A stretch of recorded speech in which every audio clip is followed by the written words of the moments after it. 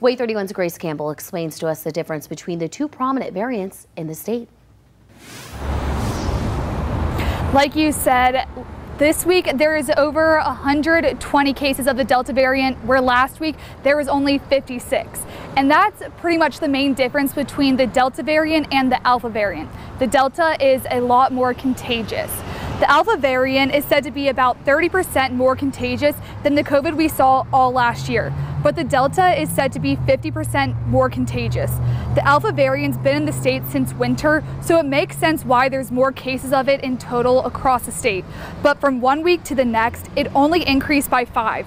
The Delta variant, on the other hand, increased by about 70.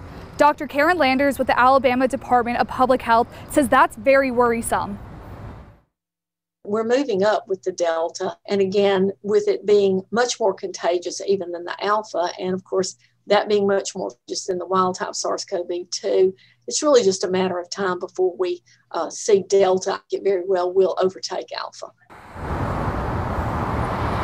She says the variants are going to keep infecting and killing more and more people if people don't get vaccinated.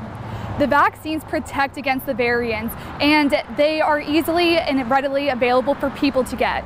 Reporting live in Huntsville, Grace Campbell, WAAY 31 News.